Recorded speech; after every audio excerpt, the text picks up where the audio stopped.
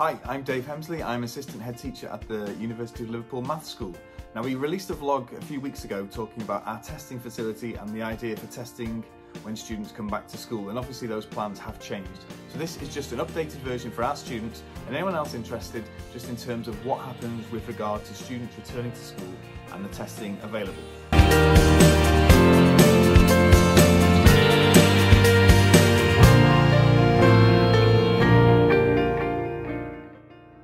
Will happen is this is our asymptomatic testing facility and this will run exactly as previously planned except this time students will be given three tests upon their return to school. So we'll do a test on the 8th of March for all our students and staff. Okay, that test will happen and then three day, well I think the next one we'll do will be on the Thursday, so that is uh, three to five days later basically, and then we'll do another test the following Wednesday. So students will get three tests in those first two weeks back, just to show that they do not have uh, asymptomatic uh, COVID. And then what will happen is after that, students will then, once we know they can be swabbed and they know how to swab themselves, they'll get a home testing kit. So these are new, and these little boxes, these are something that have just arrived this week. And the idea is this is a self-contained kit with seven tests so students can complete two tests themselves at home. Staff will be doing the same as well. So that testing will still be going on and there's full instructions in terms of how to actually use this pack that students will get as well with this. So upon arrival, you'll be see uh, you'll get one of these registration cards, and it comes with three barcodes. But we'll talk about that in a moment. We've got our own site ID, and we've set it up as outlined by the guidance from the NHS. So we have our places where you'll do your self-swabbing. There's very clear instructions how to do that, which we'll come back to a little bit later. But the whole area is going to be cleaned after every single uh, test, so it's always going to be fresh and clean for you on arrival. We've got a capacity to do two at once, so for our school size, that's absolutely fine. So we should be able to get through uh, everyone on site basically within a couple of hours for the days that we might need to do this. Okay, behind the place where you do the swabbing is the areas where you prepare for the test to be ready for the um, swabbed cotton to go into, which we'll talk about a little bit later. But also as well here, you've got all the guidance and everything for the people doing the testing on the wall, so it's all nice and clear as good reminders. And also we've got all the PPE that's needed available and all, all the guidance as well for PPE how to put it on, how to remove it, and which person in which role needs to wear what as well, which is always good to have a reminder. So it's important to get the PPE on at the start, and that does have to be changed quite regularly depending on the role you're in. So it's all very clean, all very hygienic, and the idea is to reduce the chances of cross contamination. So upon arrival, you'll be uh, greeted by somebody who'll give you the registration card and they'll give you three barcodes. Now you put one of these barcodes onto the registration card and then what you use is that is basically you to register your test. So basically you get the results go in and you get it back. So what you do is you scan the little QR code and it takes you straight to the place where you can register. Okay, you can sign up using uh, your NHS login or you can do it without, it doesn't really matter. But then it asks you to enter your barcode. So this is unique to you and you can actually scan the barcode that's on the little sheet uh, and that is then going to be following you through this whole testing process including the result as well, which I'll show you a little bit later. So you scan your barcode and then you get registered. You'll be given some advice in terms of how to actually do the test, so someone will be on hand for that at all times. And whilst uh, you're getting ready, basically the liquid that we use as part of the test, that'll be put into one of these small plastic test tubes. So we put six drops into here. Now this is the solution into which your swab after you've done the self-test will go. So we have six drops of that, and that is obviously kept uh, on the clean desk, which again is wiped after every single test. Okay, so it's all the highest cleaning standards. Uh, you can see here the operator will be changing gloves at the end of every sessions, for example. Okay, so the swab is then uh, opened up, so that swab can be handed to the person doing the self swabbing. They don't touch the cotton at the other side, so it's just handed to them. Uh, they can give you the barcodes and they take the swab out and they will do that, which we'll talk about in a second. Okay, so with the barcodes um, clearly there, so they're handed over, that will be going with your test. So you scanned it in to register you as that person. That barcode will then be used to scan your test to get your result to you later.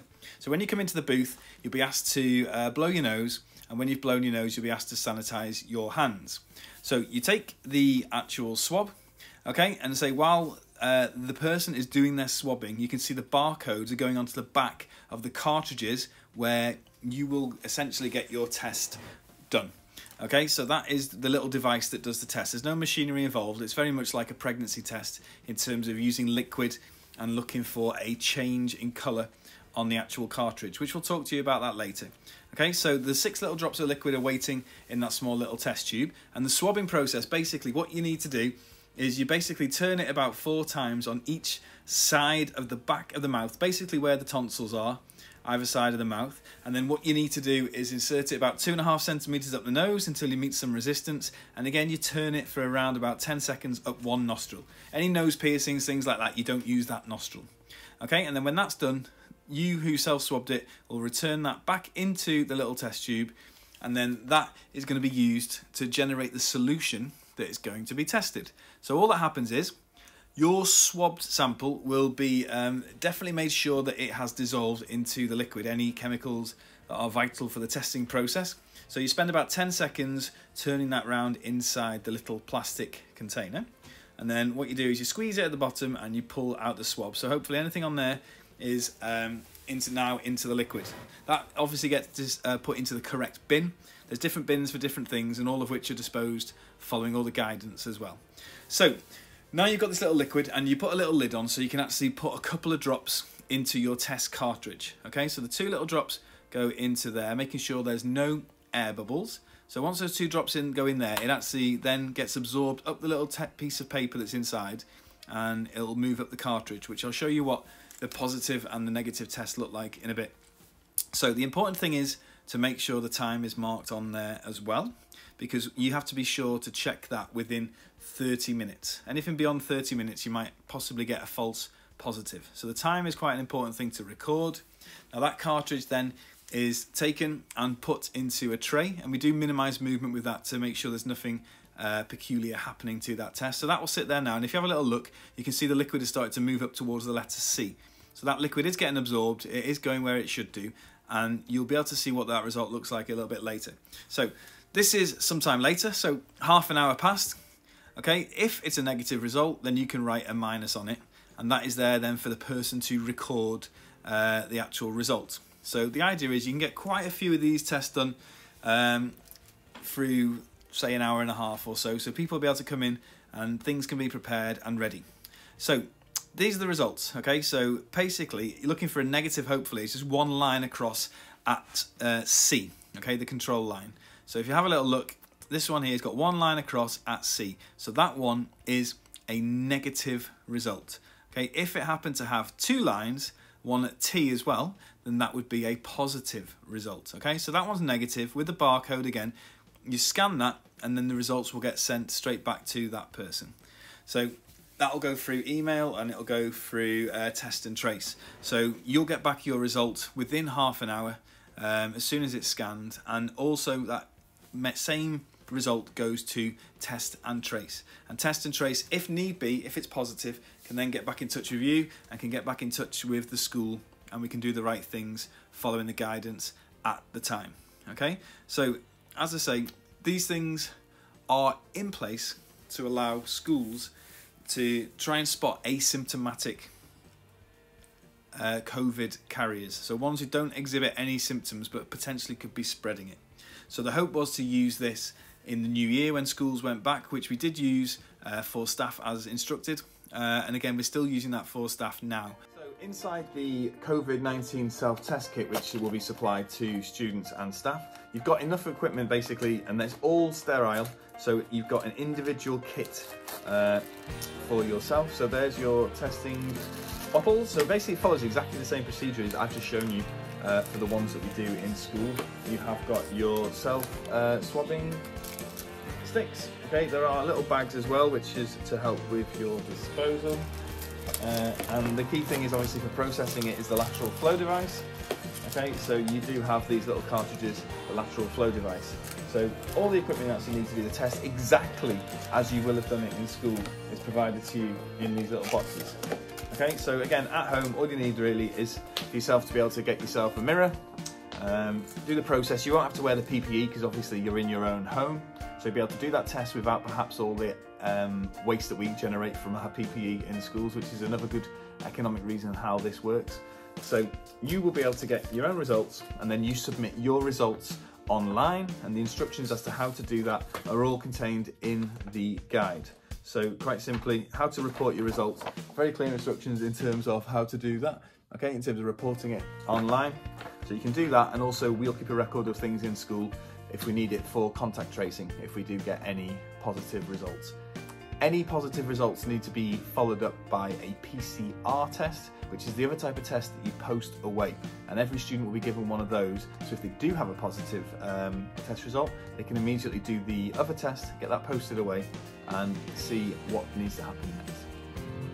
Okay, so when you do come back to school, obviously you'll be in classrooms, in lessons as normal. So the new expectation is if you're unable to socially distance, you need to wear a mask, okay? And now that is extended to classrooms. So we will be asking you to wear a mask at all times in classrooms. So our classrooms, obviously, everyone's still facing forward, so that actually helps as well. But there will be a nice large gap at the front so teachers can keep two meters away from all of you so we can still communicate clearly during the lesson.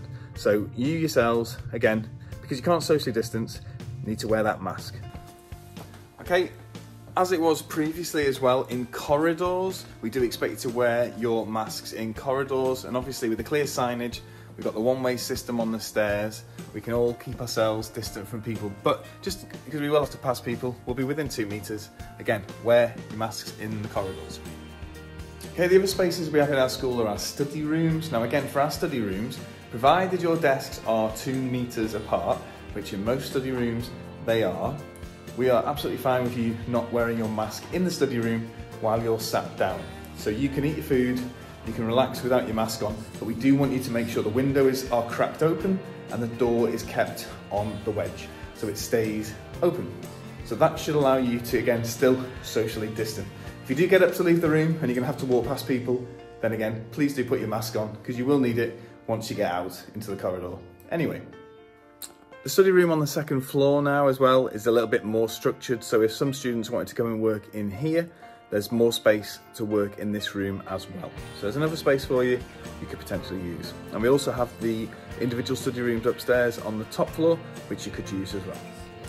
Okay, so that's everything with regards to the new arrangements for testing in schools. So if there's any questions any students have, please do get in touch with us. But otherwise, we look forward to seeing you on the 8th of March. Take care.